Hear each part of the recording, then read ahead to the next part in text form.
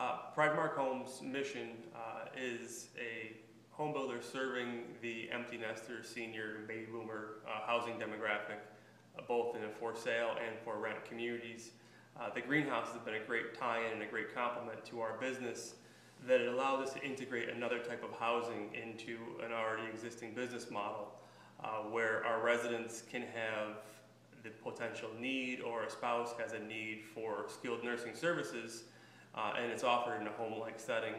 Uh, I love the inclusion from both a marketing resident standpoint as well as a developer builder standpoint that we're allowed to enables us to develop uh, property and have a built-in land sale to uh, an operator like St. John's as well as a construction project uh, that diversifies us from our standard for sale or for rent product that we build for our residents.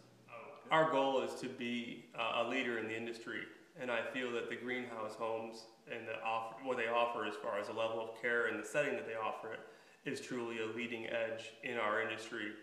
And I feel as though it complements our brand, that it shows that we're on top of the latest trends in housing, and we're truly a leader in moving forward with that type of housing within our communities.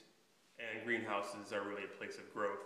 So it was an education process that we are going to offer skilled care in a residential setting, uh, and that's considered a greenhouse.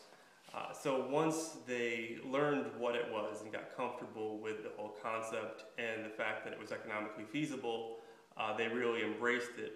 And for the first time, I was at a uh, town board meeting seeking approvals for a greenhouse included project and had many residents come up and compliment how much they like St. John's as an organization and how much they look forward to having this type of housing in their community and they supported the project, which is unique for a developer. Where we took a concept that really hadn't been done before and we made it come to life and we see it every day how well accepted it is by the neighbors and residents uh, because of course that we were doing something new and there was a concern in the back of my mind that I thought it was a great concept, but were my future customers going to think it was so great?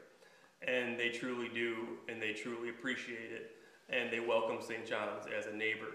Uh, so seeing it all come to life and seeing how well my neighbors truly embrace it has been uh, really special for me.